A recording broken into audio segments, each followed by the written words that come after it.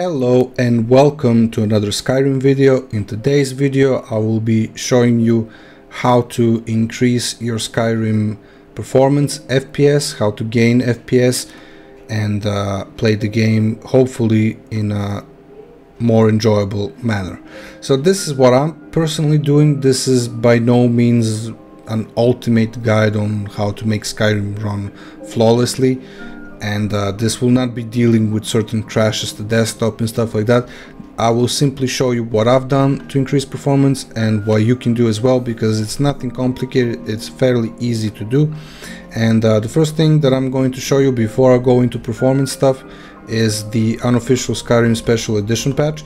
You definitely want to get this this will fix a lot of uh, gameplay, quest, NPC object, uh, placement bugs, issues, gameplay issues. So it might not necessarily help your performance, but it will help your game qu gameplay quality. So I'm gonna leave you a link. All of the links will be in the description of this video. And before I get started, in case that you didn't watch my previous Skyrim videos, you can go to the playlists tab, find the Skyrim playlist, and there will be videos there that will show you how to start modding Skyrim, how to use mod organizer, how to install SKSE, the scripting stuff, and a couple of other videos such as um, which version of Skyrim to get in case that you're not sure. So make sure you check out those in case that something is not clear. I will be jumping into things here directly. So this is a utility that's called Beth-Ini. So I call it Bethany. I think that's what most people call it like. And Bethany, once you start Bethany, once you download it and start it, it's a portable utility. You don't have to install it. You will be on the basic tab. And the way that this works, it changes your configuration files for all the different settings and provides you with some nice interface options so you, you do not have to do anything manually. It can back up your files. It can fix a lot of errors with mods automatically, so that's pretty cool. I love the fact that it it has recommended tweaks options so if if someone makes a mod and there's certain options certain configuration things that need to be changed chances are this will change it automatically for you so that's pretty cool. Now on the setup tab you want to make sure that you select the game that you want to edit. Game path steam steam apps where you've installed skyrim special edition. And mod organizer for me personally i installed it inside of uh, SE Skyrim. So for me it's the same as that one except I also created a folder manually mod organizer and I installed mod organizer inside there. Now path. this is very important. Uh, for me direct path does not work because I use mod organizer so only that works. But if you don't use mod organizer, if you're not interested in modding Skyrim and you just want to increase performance, then you will have this option and that's fine. You might have to click on browse and go to your users folder, the name of your computer, documents, my games, Skyrim special edition, and then you find the ini file there. But for, if you're using mod organizer, then you go with that one. And that's it for the setup tab. The basic tab gives you option to change resolution. So this works similarly to the one you have by default in the launcher, except you have so many more options and you have presets which are both uh, superior in terms of performance and graphics compared to the default ones. You have poor, low, medium, high, ultra. I suggest you start with medium if you're not sure what to go with. Recommended tweaks. All this stuff is fine as well. Anti-aliasing, you can disable it if your computer is slow. So I'm not going to go through every option. I'm just going to give you an overview of what I've been doing and if you put your mouse on top of every option you'll have uh, a little description that you can check. So if you like it or if you don't like it if you think it will help your performance you can disable it. Now general tab the way that you can test if this works for you is uh, by disabling logos. So when you start Skyrim I'm using it to start from here with the mods automatically and I disabled logos. So there's no Bethesda logo. That's how I know that it works for sure.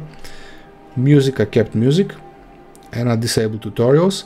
Now gameplay always run by default, NPCs can use ammo. This is nice because when NPCs attack you, let's say with with uh, arrows and stuff like that, they will run out of ammo if it's a long battle. So if you can run out, they can run out as well.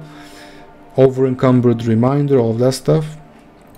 And interface is the last tab that deals with certain options. I have everything enabled. Remove map menu blur, very useful fix map menu navigation. I have some mods that deal with gameplay stuff as well, but it doesn't hurt to have this as well. Now detail is where things start to get interesting in terms of graphical stuff. Now I know there's a lot of options here. For some of you that are not used to changing stuff, it might look overwhelming, but it's not really. You can you see little sections sections. My apologies.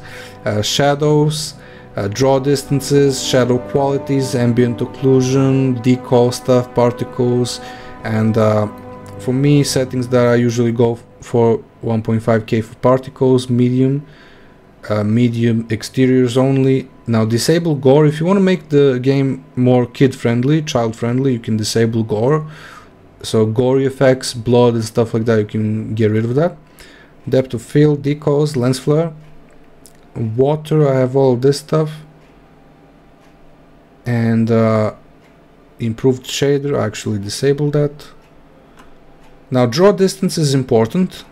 Draw distance I put it at 2000 and exterior draw distance at 3000 but you can put it at 2000 as well if you want to even more FPS so if you don't care about seeing really far away then you can put that for more FPS shadow bat shadow resolution I put at 1k and I use the light version for ambient occlusion.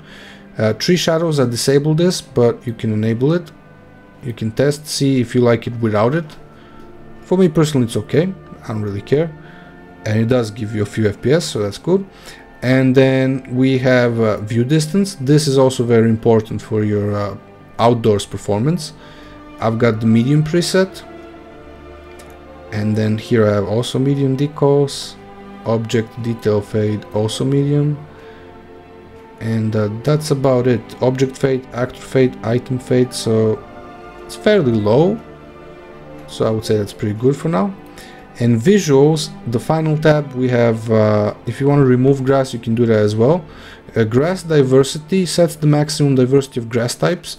I put this at 3 but you can even go 2 as well you won't really notice much of a difference. And grass density this will help your performance. So you can put something like 30 or 20 you can play around with different values see what works for you. Dynamic trees tree animations skin trees all that stuff far off tree distance. This is very important. And uh, you can decrease that to let's say 25k or maybe even less. Play with different settings and that's it in 10 to 15 minutes actually not even 10 minutes for all of this to be configured you will see some heavy FPS gains and most of the times most of the settings you will not see much of a difference uh, while playing the game, which is great because you gain extra performance at almost no cost. So this Bethany utility is pretty much the most important thing that you can do for your build of Skyrim. Now after you're done, you click save and exit and that's it, you go play the game. Now I also have two other mods that I'm going to show you. One is called Skyrim Project Optimization and what this mod does is uh, when you're inside indoors, let's say you're in a house with uh, two floors or multiple rooms, if you cannot see something, if you if you're unable to see contents of another room, then the game will simply unrender that. And that's brilliant because you don't have to render stuff that you don't see. So let's say you're on the top floor, you don't need the stuff on the bottom floor rendered anymore then your computer will unrender that stuff and gain you a couple of FPSs. So from my experience, I've noticed maybe two, three additional FPSs indoors. And again, it's pretty much free performance, so I don't see a reason why you shouldn't go for it if you can get free performance. Any any additional FPS helps. So I'm not going I'm not going to go into details of how it works, but basically there are certain occlusion culling uh, things in the game that the author has placed. So as you move from one spot to the other, he's pre he pretty much instructs the game, okay, at this spot you cannot see the previous one, so feel free to unrender that stuff. And a very smart way to uh, keep uh, the load minimal. Now the same thing, well not same, but something similar is uh, called insignificant object removal. I'm going to show you screenshots. So you have all these little things in the in the world that are procedurally generated. They're like extra things. So here's a picture with them. Here's a pic picture without them. And this also works in water. Now, one interesting thing about water in Skyrim is, let's say you're near a lake or near a river or something like that, this stuff in the water will still get rendered even if you cannot see it, so this is not bad to increase performance, especially if you your computer is uh, fairly weak.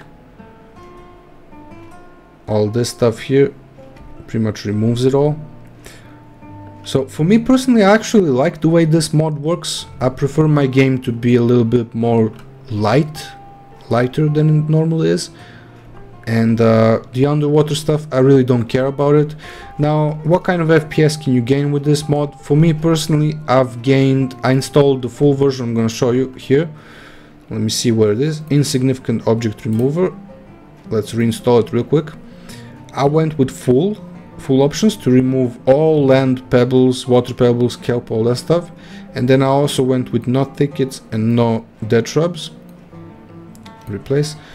And for me, this has resulted in maybe between 1 and 3 extra FPS outside. So not much, but keep in mind, every 10-15 FPS that you go up, it changes, uh, makes the game more smooth, so you can definitely see a difference.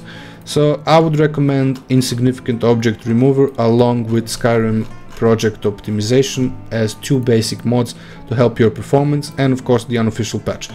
And here's the Bethany, I'm gonna leave you a, a link to all of these pages so you can download, install and play around with it.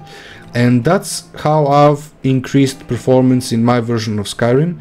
Um, nothing special, pretty basic stuff, but I thought you might like it and uh, I thought it might be useful for you as well.